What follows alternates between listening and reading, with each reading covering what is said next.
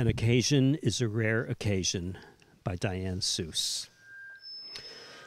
An occasion is a rare occasion, rare as a bloodbath in a barn.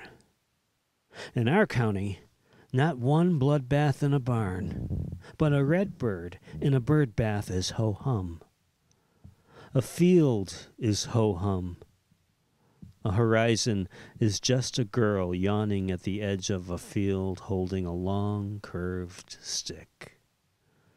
She remembers reading Ho Hum in a book, and it was odd to her, though not odd enough to be an occasion. Rhubarb leaves curling up out of the dirt in the spring are not an occasion. Things that happen on their own without help are ho hum like popping out a baby. But a baby shower is an occasion. A small occasion, but it counts. There are cupcakes to be frosted blue, and balloons to blow up with the breath of our own bodies, though now there are helium tanks. Have you sucked in enough? Did your voice sound high and strange? That is a miniature occasion. But then your voice goes back to its usual ragged self. So in the end, sucking helium is a temporary occasion. All occasions are temporary in our county. A silo in a field is ho hum. But if it burns, it is a temporary occasion. So many things burn that fires are in danger of becoming ho hum. Only the strange fires count. The supermarket fire, with its exploding jars of pickles. The outdoor movie screen fire. The firehouse fire. In our county, clouds are bags heavy with empties gathered from parking lots of strip malls and shut down pattern factories. Soon there will be enough to cash in Soon the sky will rain quarters. Enough for bread and bologna and squares of American cheese and cereal shaped like stars. The milk in the bowl will go pink with the pinkness of the stars. That will be an occasion.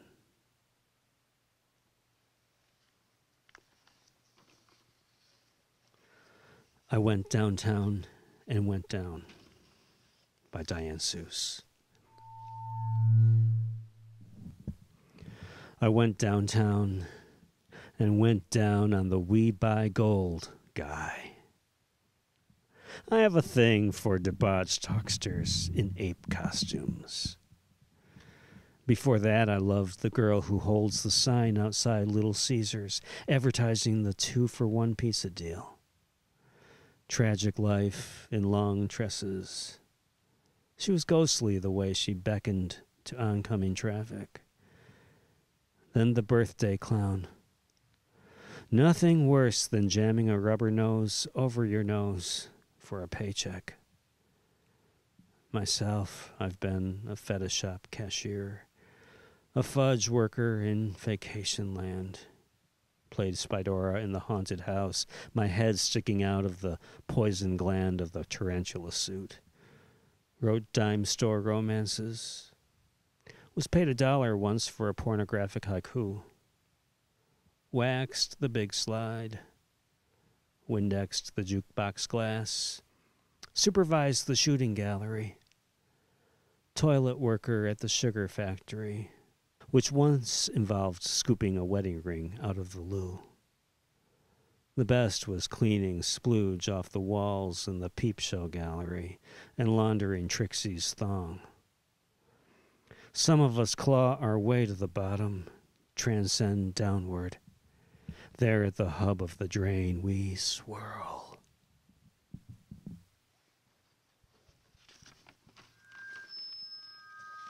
Free beer footnote Diane Seuss said that uh, when she was a child, she would um, put on puppet shows and lure adults by offering free beer. She said we didn't have money for beer or or puppets, but uh, it was a it was a form of imagining. Know, she wasn't lying, and uh, that imagining was a form of hope. Free beer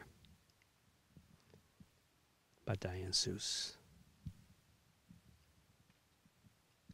I'm the one who can hold a mouthful of salt. Bring him here. The fool dressed in prison stripes. I can pray for him, even though his eyes are wild. I can delouse the rat. When I was a kid, I invited them all to a puppet show. There were no puppets. I'd planned no show. Free beer, I said and they came. I've seen the puppet theater. It resides in the black cavern behind my eyes. Thoughts are puppets dangling from their tangled strings. Bring 'em here. The one spinning on gloom's rotisserie.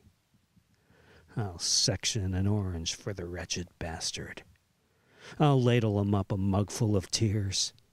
Free beer, I'll say. no, there is no beer.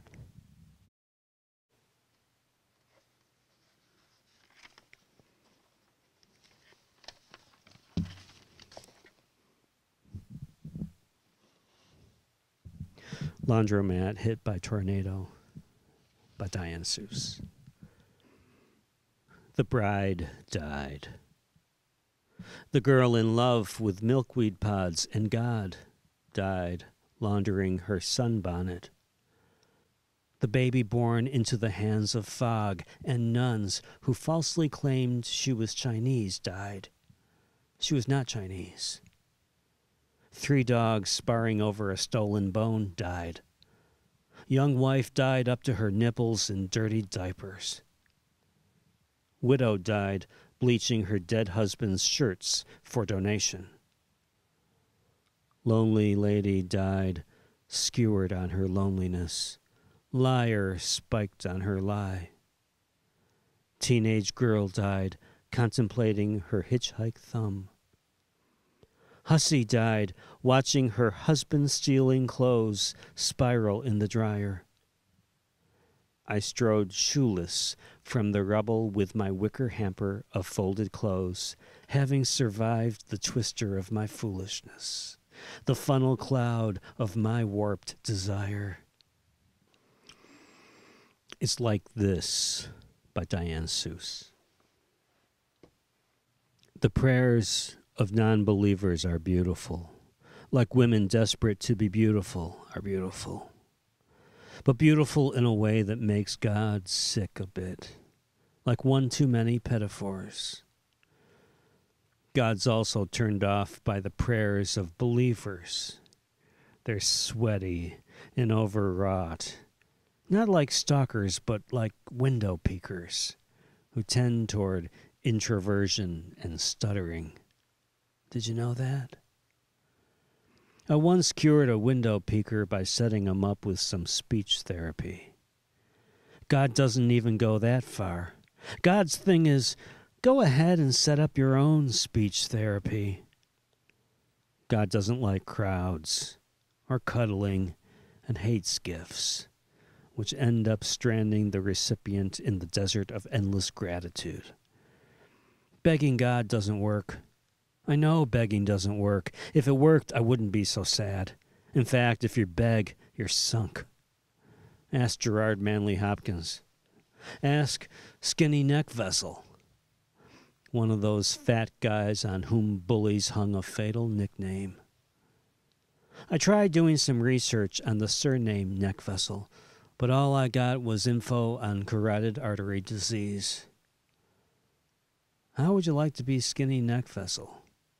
Even for a day. A guy who had to enter the door of his own house sideways. A guy so fat that his only comfort was three TV dinners and a Mrs. Smith's Dutch apple pie. God's point of view is that being God is a lot like being skinny neck vessel. That is really large and really uncomfortable and filled with bitterness and filled with pie. Not to mention that Skinny Neck Vessel was shot and killed for cheating at cards in Milwaukee, Wisconsin. Huge and far from home and right between the eyes. That's God's point of view.